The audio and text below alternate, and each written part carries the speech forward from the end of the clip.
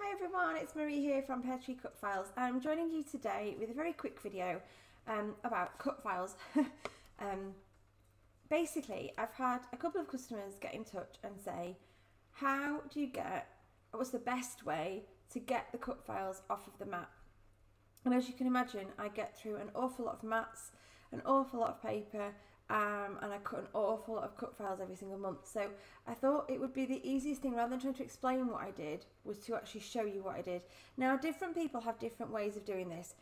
And I know one of the ways suggested by um, Cricut and the makers themselves is to actually take the outside of the cut file off first. Now, please bear in mind, this mat has been used a fair few times. It's still very sticky, but it's not the stickiest of mats. Um, so this one will be slightly easier than if you are using a brand new mat. Now I don't do that. I do not take this outside bit off first. I don't like doing it like that at all. I find if I do that, when I then go to try and remove the cut file itself, I've got nothing to sort of press against and move against. I like to leave that there so I can kind of lean my hand on the bits that are still stuck to lever off the cut file itself. So I'm going to start with this one here, which is captured on camera. Um, I'm just going to press it back down as if I hadn't peeled it all off. Um, I do love these tools as well. These are weeding tools. These are designed for use with vinyl. Um, I find them incredibly useful for cut files as well. They've got a really, really sharp point. They're not like so sharp that you're going to hurt yourself. I mean, you could if you pressed hard enough, but they're not so sharp that you can't touch the end. Um, but it has got a sharp point on the end, and that's what I like to do to try and get these off. Now, the first thing I do is take the mat and bend it. Not so much that you're creasing the mat, just give it a little bend and then go for the edge of the cut file here. And then literally I follow it round with my finger and follow the line of the cut file. I follow the line of wherever the cut file seems to be peeling off by itself and I just allow it to sort of pop off do it nice and steady. If you go too fast, you are at risk of ripping a cut file. I do do that quite a lot, quite often because I'm trying to go too quickly. Um, now, I can't carry on with both bits of this because as you can see, these two aren't connected. So I'm just going to let that flop back down. It's not going to stick back down. And especially because I haven't removed this, it's not going to get stuck to a different part of the mat and then potentially rip. That's another reason I leave this on. So then I'm just going to use my fingers to keep moving along and follow underneath and then that bit's off. So that's completely loose now and then I'm going to go back down to this bit here and do the same thing and literally just follow it around. And that's it. The cut file is off. That's captured on camera. Now, if you are a pre-cut customer or you've ever bought anything from me pre-cut, you'll know that I also like to send as many of these letters as possible. That's where this comes in and where I find this most helpful because I just took it underneath the edge of the letter and you can pop it off. And I go down and I just slide it along the mat and underneath each letter. Again, because I've left this large outer section on, it makes it much easier to pop off all these little bits. And I just stack them up. Same here with the word camera. And I just tuck it under the corner now try not to go too heavy-handed, excuse me, with my sniffles. I try not to go too heavy-handed with this because you can rip if you're if you're too sort of rough with it. Now this camera piece has an extra little ring that goes in the centre of the camera here. I do try and attach as many pieces as I can so that there's less loose but unfortunately with the camera I think it just looks better if that's a separate piece. So that's that entire cut file um, off. Now if this were a super sticky mat, um, so if you've just gotten a mat out of the packet and you haven't cut anything on it yet at all, um, as you can, I don't know if you can see, but you can probably see there's lots and lots of cut lines on this mat. It's been used quite a lot.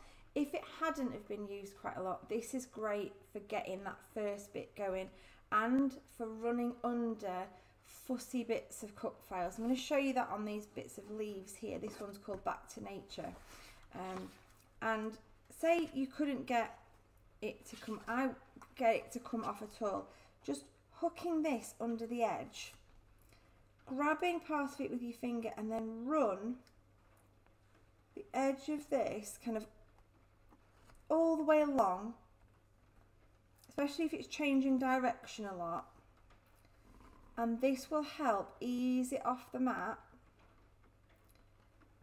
without ripping, without any sort of tearing. And then you can always tuck it under and run it along.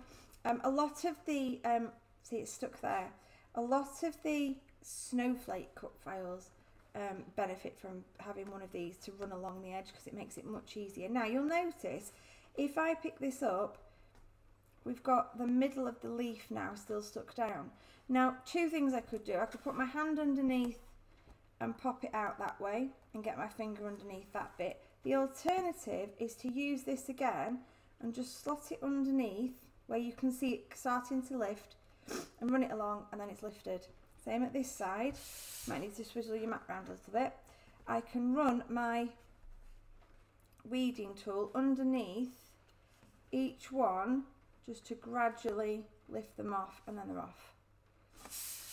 Um, and then this, the rest of this should now lift off quite happily by itself, by itself off, without the weeding tool, just to move along.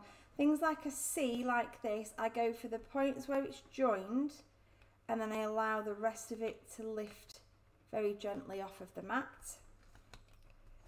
And just follow the line of the letters around. And then it should all pop off nice and easily. And then same thing again I'm just going to run along with my little weeding. Occasionally you might catch the edge if you just use your fingernail and run along you can flatten that back out again it's certainly saving my nails to use uh, a weeding tool because I was previously using my nails to try and dig underneath and you do make more of a mess of the edges if you're always using your nails and your nails don't thank you for it either. Middle of that A there, middle of that A and we're done.